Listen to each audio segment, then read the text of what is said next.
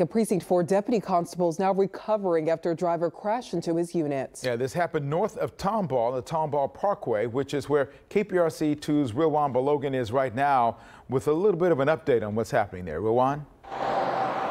Hey, Kimbrell Severe, good morning. Investigators say that deputy briefly uh, lost consciousness after that crash and was taken to the hospital where we know he is recovering. And after undergoing a number of tests trying to figure out what his injuries were. Now, authorities say the driver of a white Mercedes, likely possibly speeding potentially 100 miles per hour or so, rear end the Harris County Sheriff deputy as they were both driving down Tomball Parkway. Witnesses said the force of the crash sent both vehicles crashing into the walls. Both, as you can see, makes with significant damage. Now, these witnesses also said they immediately rushed to the scene trying to help the deputy and the driver of the white Mercedes. He told my husband and father-in-law to go grab the other guy before helping him. This crash is going to be a high-speed crash, uh, which usually goes along with alcohol consumption.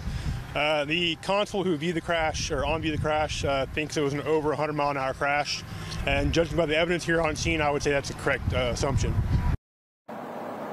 Now, the sergeant there adds that the driver of the white Mercedes will be charged, likely facing additional charges, including driving while in under the influence. Reporting live, Rilwan Balogun, KPRC 2 News. Thank you, Rowan.